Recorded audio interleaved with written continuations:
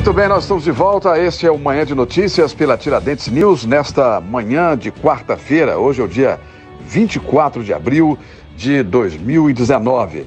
Temos agora a matéria é da Jaqueline Fará. Imóveis e outros bens apreendidos pela Justiça do Trabalho serão leiloados na próxima sexta-feira em Manaus.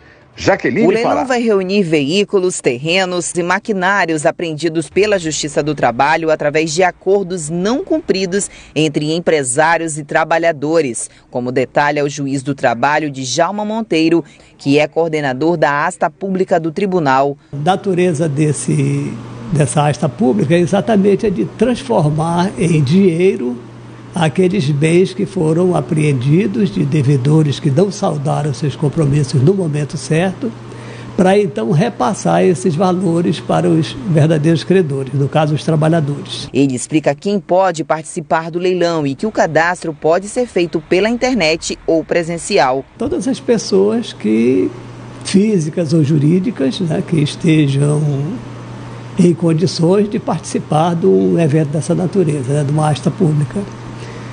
No caso aqui, a necessidade de se inscrever, né, pra, que pode ser até minutos antes no presencial, e no online já, já deve participar, né, também preencher um cadastro. Os imóveis têm preço abaixo do mercado e vários podem ser adquiridos pelos preços de lance inicial. Nós temos um terreno no Polo Industrial de Manaus, que vai está avaliado em 6 milhões e 400 mil reais, como temos também um fliperama, é, quer dizer, um objeto já bem ultrapassado em termos de tecnologia né, da atualidade, mas que com certeza tem algum valor para colecionadores. Né? O leilão do TRT ocorre sexta-feira, dia 26, das 9h30 da manhã até às 5 da tarde, na sede do órgão na rua Ferreira Pena, no centro. Os cadastros podem ser feitos no www.amazonasleilões.com.br.